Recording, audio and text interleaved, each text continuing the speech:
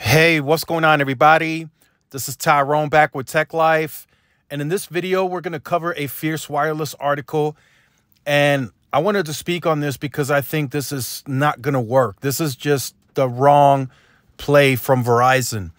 So Verizon defends pricey plans in 5G world. So they are more expensive. They're just priced more expensive than AT&T and, and T-Mobile, although not by much but they are still priced and perceived to be the most expensive carrier in the United States. Now, T Mobile, they have additional discounts that you can attach to the plan.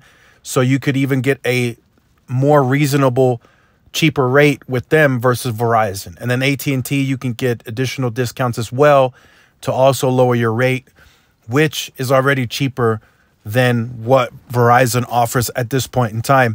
Now, Verizon is eh, at the recent quarterly earnings, they're talking about, oh, we're seeing this percentage that leads us to believe that the offerings are working, or this higher percentage is, is coming in now towards the end. And, you know, we won't see that reflect in the fourth quarter, but maybe in Q1. No, that's that's not going to work.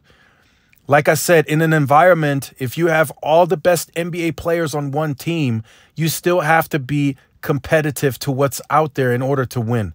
You can't just say, I have the best players, and if they don't compete, they're going to win. That's not how it works. And it's the same here. Verizon may have the more premium network, the larger network, but they are going to have to compete. And why do they have to compete? Because of T-Mobile.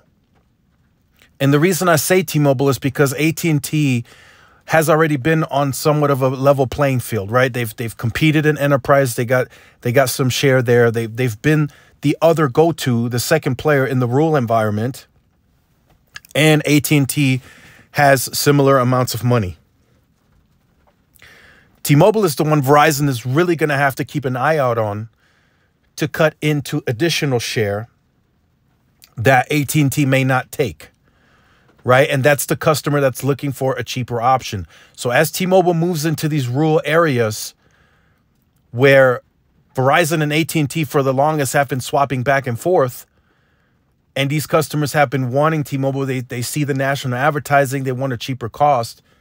Those customers are likely immediately to switch to T-Mobile as soon as they bring new services and retail uh, distribution locations out to these rural parts. Now, I'm not disregard I'm not disregarding that T-Mobile had didn't have coverage there for 20 years or more, depending, right? But a new option is a new option, and that's what the consumer is going to look at. And as soon as T-Mobile gets there with new service, of course they're going to be loud. That's just who they are. So Verizon trying to defend their pricey plans in the 5G world is not going to work. And that's not based on just right now what they're currently seeing. I'm already see, I'm already speaking of a future outlook. T-Mobile expanding more coverage into area that they didn't exist in. So they come in with cheaper pricing when Verizon is sitting there defending their higher pricing. The consumer will eventually choose, and it will be noticed in the numbers. And we're already seeing it in the numbers now. In the future, we're going to see that even more. Right? Verizon recently had a profit drop of 23%. If they continue losing at that clip in the future, we could see lower, lowering of ARPU, lowering of ARPA. We could potentially start seeing fixed wireless access ads leaving that could be the end result of T-Mobile further accelerating their build at the current strategy. Remember, T-Mobile has two times less debt. They don't pay dividend. So they're going to accelerate their free cash flow very quickly. Within this next year, T-Mobile will probably be at a 12 to 13 billion dollar free cash flow. That's going to accelerate to about 16, 17 billion by 2026. That's going to be massive. That's going to give them insane leverage to to be the most flexible that they will ever be at that time. So that's when they can strategize new plans, new um, new specific capex for a millimeter wave build for fixed wireless access, whatever the case may be. And that's what Verizon has to look out for, not in the right now, but in the future planning.